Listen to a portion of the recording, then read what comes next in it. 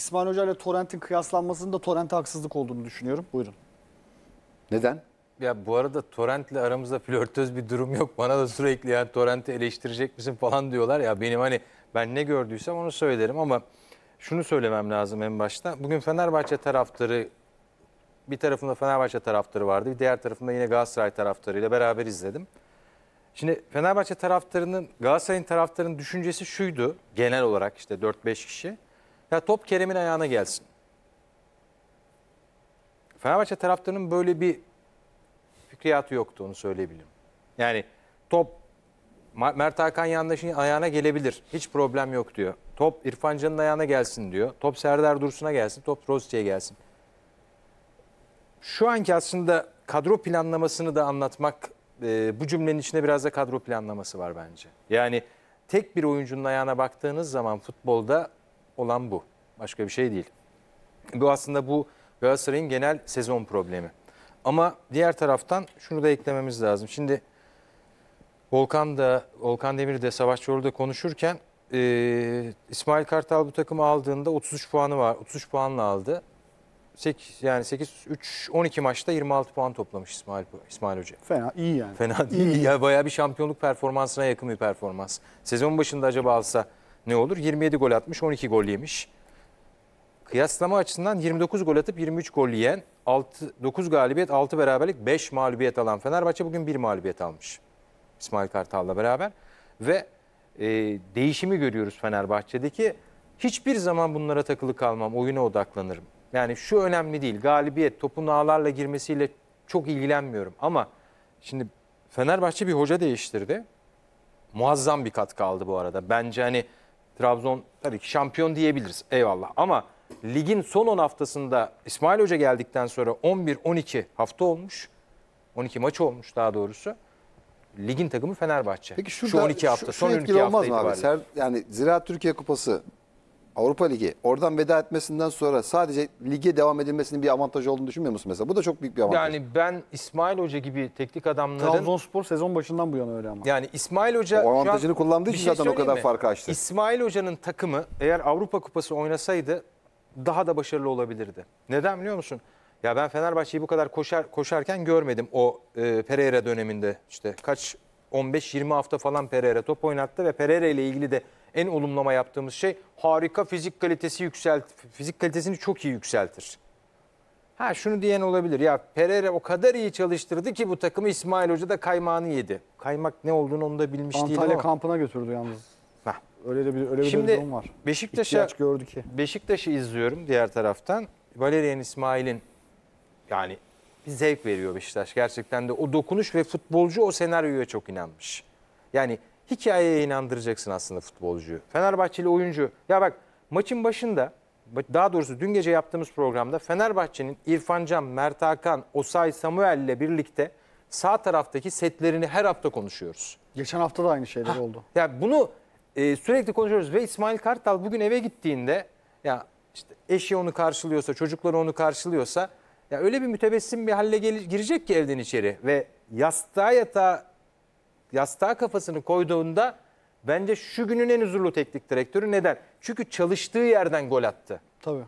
Şimdi Hayalleri gerçek oldu. yani maçla diğer- ilgili. şöyle söyleyeyim bir penaltı golü, golüyle ya da bir doğaç, Duran top kafa yani falan. o bile çalışmadır da doğaçlama bir gol atmıyor Fenerbahçe. İki golde sağ taraftan gelişen bir organizasyon. İkinci golde bile Samuel Asay koşuya devam ediyor. O fake'i en azından beki alıp Adamı götüreyim çekiyor, evet. koşusuna devam ediyor ve futbolcu futbolcuya bunu o dakikalarda yaptırmak zor. 30. dakikada taktiksel sadakat devam eder ama Fenerbahçeli oyuncu hocasına çok inan o kadar inanmış ki ben ne olur hani bu yanlış anlaşılmasın ama bazen futbolcularla yönetim kurulunun da bir araya gelmesi gerekir. Mesela hoca hakkında ne düşünüyorsunuz diye Fenerbahçeli oyunculara soru sorsalar Soruluyor. ve sadece oyunu anlatır mısın diye tek tek oyuncuları alacaksın içeriye. Mülakat gibi ya. Oyunu anlatır mısın bana? İsmail Hoca sana ne anlattı? Ben şunu anlıyorum. Oyuncular bunu çok iyi anlamış bu oyunu. Çünkü Fenerbahçe her hafta bu golü atıyor işte. Tam da bu golü atıyor. Geçen Şu an hafta ekrana Rossi attı gelen- ama Ha, yani yerden attı. Ha. Fark olarak. Şimdi- hani Peki bu çok golü atarken benzer. Galatasaray niye buna çalışmadı? ona geleceğiz. İşte bak Ona geleceğiz. bunu atıyor ama Galatasaray niye çalışmadı? Fenerbahçe futbolcular inanılmaz inanmışlar. Yani çünkü orada 4 senedir bir galibiyet özlemi var. İnanmışlar. Bu değil abi ya. İnan Ya çalışmak bu değil. tabii ki. Tabii ki. Ama Tabii sen tabii. bunu çalışırken Galatasaray işte Fenerbahçe bunu zaten Galatasaray'a yapıyor. geleceğiz ama bir şeyden başlayalım. Başrolden başlayalım. Ya galip gelenden başlayalım. Çünkü Fenerbahçe taraftarı olsam gün televizyonu açtığımda biraz Fenerbahçe konuşulsun isterim. Çünkü Biraz benim takımımın ama. oyunu hani galip gelen takımın oyunu ne ne yapmış? Bundan bahsetmek gerekiyor ve İsmail Hoca'nın şu oyunu yüksek bir fizik kalite gerektiren bir oyun bu arada. Hani yani sağdan kaçıyor, o boş koşu yapıyor falan da bu hareketli oyunun sağlam yani sağlaması fizik kaliteyle olur anca. O Say Samuel ka- kaç metre koştu bugün mesela orada? Sürekli gidip geliyor, sürekli gidip geliyor. Ve şimdi birinci gol, şu bu birinci gol değil mi? Şimdi altı pasın orada, altı pasın içerisinde Fenerbahçeli futbolcu. Diğer tarafta bu arada Muslera'nın isabetli paslarından biri. Ne izledik şu anda şu pozisyonda da. Evet. Yani Galatasaray bölümünde burayı çok konuşalım bence. Yani bu Muslera ile oyun kurmanın zafiyetlerini mutlaka konuşalım. Fenerbahçe'nin ikinci golü, birinci golü, geçen hafta Kayseri'ye attığı gol. Bunların hepsi çalışılmış organizasyonlar. Ve atılan arka direk opsiyonları, mesela arka direğe oyuncu konumlanıyor. Her, se- her seferinde mesela altı pasa tekrar oyuncu geliyor. Ya bunları gördüğün zaman burada bir teknik direktör dokunuşu hissediyorsun. Ve tabii ki Volkan Demir'e yüzde yüz katılıyorum. Burada kesinlikle böyle bir beyanat vermek imkansız. Yani Fenerbahçe İsmail Kartal'la devam etsin. O benim problemim değil. O Ali Koç açısından yorum bile zor Ama bu kararı o kadar zor bir karar ki neden? Daha önce Emre Belezoğlu'yla bunu yapmaya çalışmışsın, yapmamışsın, eleştirmişsin. Şimdi İsmail Hoca seneye 10. haftada 3 galibiyet, 4 beraberlik, 3 mağlubiyetle sezona başlarsa bu sefer de şey diyecekler. Senin vizyonun İsmail Kartal mı? Şimdi burada eğer Löw ya da işte Bielsa ismi geçen hocalardan bir tanesi gelirse kimse niye İsmail Kartal gitti bu geldi demez. Ben derim Emre abi. Belezoğlu'ndan sonra Demediler. Volkan ne isimler Emre var? Belezoğlu'ndan sonra kimse demedi. Çünkü isimler çok olağanüstü isimler vardı. Üst düzey ama isimler Ekim vardı. ayında dedi herkes onu söyleyeyim sana. İşte orada soğudu ama iş. Şimdi burada da Soğudu mesela derken yani Emre Belezoğlu Başakşehir'de bir çıkış yakaladı. Pereira'nın e, Kasım ayında diyelim. Pereira Yani başarılı Ekim'de. olsaydı kim Emre Belezoğlu diyecekti Volkan? Demezdi işte. Demezdi işte. o demezdi ama Pereira başarısız burada oldu abi İsmail yani. Kartal'dan sonra Öyle bir gelen durum teknik var. adam Löw olursa Löw'ün alacağı sonuçlar da çok fazla kimseye yani orada şey yapmayacak. Eleştiri konusu olmayacak. Löw'ü getirilecek ya. Dünya Kupası sahibi adam Diyemez abi artık kimse. Der abi, niye yani demesin? Çünkü lö- ya şöyle bir Ya İsmail Kartal'ın şey seneye söyleyeyim 10 mi maç abi? seri yakalayabileceğini garanti verebilir miyiz? Löw'ün garanti verebilir miyiz? Abi, Guardiola'nın garanti verebilir miyiz? Kimseninki veremeyiz. veremeyiz. tabii. Veremeyiz. Ama ya bu kadar e, Guardiola'nın verebiliriz ya. Veremeyiz. City için. Arkadaşlar, Liverpool- arkadaşlar bakın. Fenerbahçe- Fenerbahçe Bakın, için Fenerbahçe söylüyorum. için kimse Beşiktaş- Kimseyi veremez. Beşiktaş şampiyon teknik direktör Sergen Yalçın ikinci yarı bambaşka bir Sergen Yalçın oldu. Nasıl gittiği hep- hepimiz biliyoruz. Ya tamam. Yani ona tabii ki garanti veremezsiniz. Ama Löw geliyorsa Ya niye ben İsmail Löw'le ilgili mesela hani büyük linç yemeyeceksem eğer bende kuşku var Löw'le ilgili. Bende de var. Yani neden? Çünkü son şampiyonalardaki başarısızlığı hani şunu şuna sığınmak istemiyorum. Yani Löw kulüp takımı çalıştırmadı uzun zamandır falan. Buna sığınmak istemiyorum ama diğer tarafta hani mevcut şampiyonalardaki performansı da ben şunu diyemiyorum Löw için. Ya Fenerbahçe'yi alır başka bir seviyeye getirir. Çok kolay bu cümleyi kuramaz. Ben Sayın Ali Koç'un bir kez daha hata yapacağını düşünmüyorum. 4 senedir istediği teknik adamı getirememişti. Burada İsmail Kartal ikinci olsa dahi ki ikinci olma şansı çok yüksek. Olsa dahi o 4 senedir kafasındaki düşündüğü Volkan'la burada her sene ismi geçen hocalar vardı. Bu defa onu yapacaktır diye düşünüyorum. Teknik adam konusunu sonraya saklayalım. Teknik adamdan Çünkü daha üstüne önemli. konuşacağız. Teknik adamdan daha önemli bir şey söyleyebilir miyim? Tabii ki. Ee, bir, şöyle kadroyu hızlıca sayayım. Altay, Osay, Serdar, Kim, Ferdi, e, Crespo, Zayt, Mert Hakan, İrfan, Rossi, Serdar Dursun. 11'in 10 tanesi Serdar Aziz'i de katıyorum bunun içine. Çünkü Serdar uzatacak çok yüksek ihtimalle. Görüşmeler olumlu gidiyor. Yani Serdar Aziz'in Fenerbahçe'de sözleş, sözleşme uzattığını söyleyebilirim şu anda. Yani çok yüksek ihtimalle kalacak Fenerbahçe'de. Rossi dışında o da kiralık sözleşmesi var. O 11'in 10'u da seneye Fenerbahçe'de. Sözleşmeniz, sözleşmeniz var yani. Evet. Hiçbir ha sen satarsan o ayrı. İşte Kim Min-jae'nin satın alma opsiyonu var 23 milyon euro. Satın alma bedeli var 23 milyon euro. Onu ödeyen çıkarsa o ayrı. Ama şu an bu şartlarda konuşuyorum ki 11'in 10 tanesi burada. Peki Sen- bu sen- 11'in 10 10'undan kaçı önümüzdeki sene Fenerbahçe'de yer almalı? İlk 11 bazında söylüyorum. Bence hepsi yer almalı. İlk 11 bazında Evet. söylüyorum. Ha ilk 11 bazında değil işte onu söyleyeceğim. Ha. Geniş kadroda bence hepsi yer almalı. Eyvallah. Çünkü bu artık sizin İsmail Hoca ile kurduğunuz bir gövde. Tamam. Şimdi bu gövdenin nesi yok? Çok net söylüyorum. Bu gövdenin kanatları yok.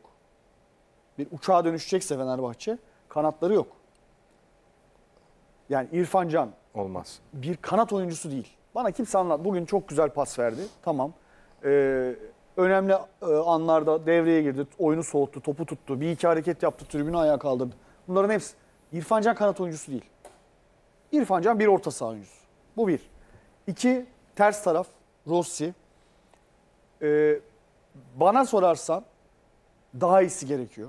Bu benim şahsi fikrim. Üç, Serdar Dursun az önce en çok övdüğüm isimlerden bir tanesi olmasına rağmen daha iyisi gerekiyor. Daha iyisi demeyeyim. Daha iyisi. Daha kalitelisi yani daha bitiricisi, daha golcüsü gerekiyor. Serdar yine Ama olacak. Serdar da bu takımın rotasyonunda mutlaka %100 olur. olmalı. Evet. Yani Serdar topçu şöyle değil söyleyeyim. vesaire gibi bir görüş Hayır, geçerliliği yok. Yer- böyle yerli şey. bir defa. Herhalde herkes Ha, ikna olmuş. Şu anda Fenerbahçe Serdar Dursun'u ben bırakıyorum desin. Kaç tane takım var? 20 takım var değil mi ligde? 19'u talip olur. Bak çok net söylüyorum. Bir defa yerli ya. her türlü 19 avantaj. tanesi talip olur. 19 tanesi ister Serdar Dursun'u. Yani Fenerbahçe'nin elinde böyle bir değer var. Ama yani yanındaki Berisha değil. Yanında daha iyisi. Olmalı. İşte Fenerbahçe'nin buna yoğunlaşması. Ferdi mesela ben dedim ki Ferdi sol bek değil. Yani sol bek değil demedim de endişelerim vardı Babel'in karşısında. Yani. Buna odaklanacak. Ya ben hem Ferdi'yi daha önde kullanıp kreatif olarak Ferdi'den daha fazla fayda alayım hem de iyi bir sol bek bulabilir miyim?